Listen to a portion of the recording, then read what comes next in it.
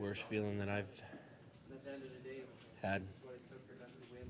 It just it's tough to explain. I know there's disappointment now, but in the days to come, will there be a sense of pride of what this group accomplished?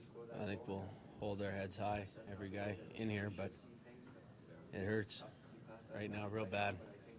How would you describe this group of guys and the room that Incredible, incredible group, special group. One that I can't even begin to explain.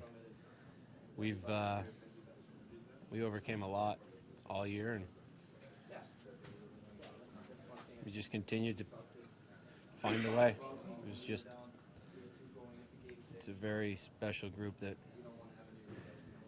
that's in this room, and it hurts. Eric talked about kind of this moving forward being a big learning experience. Is this kind of just light a fire under a group that got so close? Well, it's, it's something that not right now. It's it's tough to, to look past, but we threw everything we had at them, and credit to them.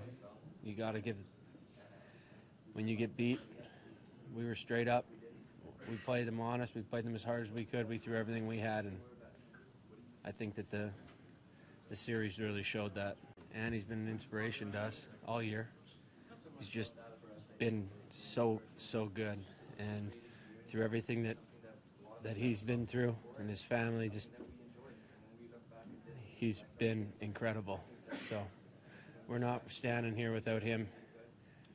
And it took every guy in our room, guys that were in, guys that were out. It took every guy to get to this point. So I, the group that we have is that, that's in this room is a special group that I'll never forget.